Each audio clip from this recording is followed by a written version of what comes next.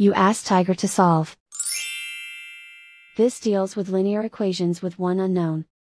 The final result is x equals 7. Let's solve it step by step. Simplify the expression. Expand the parentheses. Simplify the arithmetic.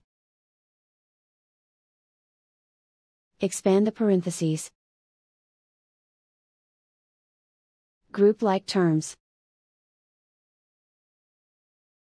Simplify the arithmetic. Group all constants on the right side of the equation. Subtract 19 from both sides. Simplify the arithmetic.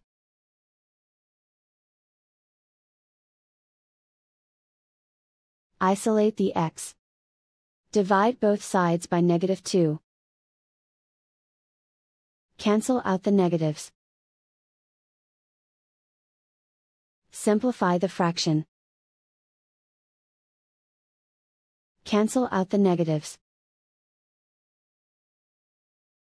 Find the greatest common factor of the numerator and denominator.